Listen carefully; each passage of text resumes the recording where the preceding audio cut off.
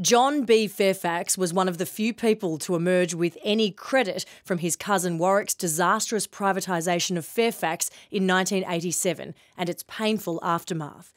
Absolutely carbon copy of himself with the blonde curls. How can the child of three know whether it's a page one or page three story?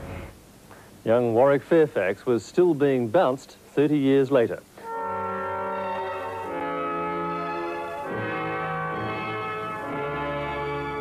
When the takeover dissolved under crippling debt, John B. Fairfax emerged with the company's rural and regional newspaper for a $20 million investment.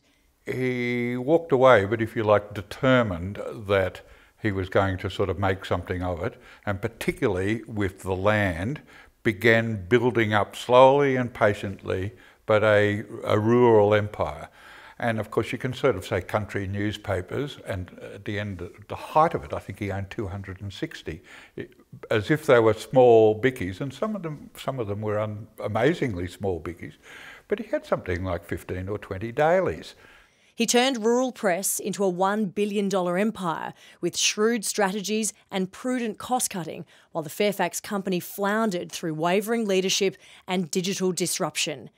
In terms of his personal characteristics, he was a statesman, a mentor to many.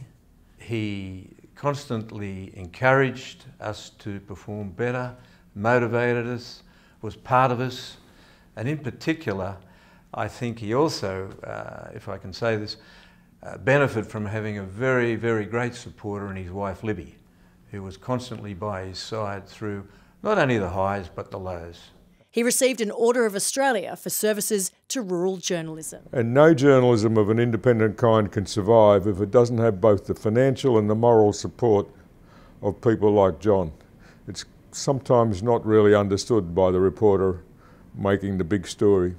He thought that it was the function of editors to set the policy of the paper. He also reserved to, his, to himself the right to disagree vehemently, but I was very much chuffed when he acquired the Canberra Times again that uh, we discussed editorial policy in broad things, but if he disagreed for Canberra Times editorial, he wrote a letter to the editor. I always published them with glee immediately, of course, because it emphasised to everybody else that this was not a person sending directions.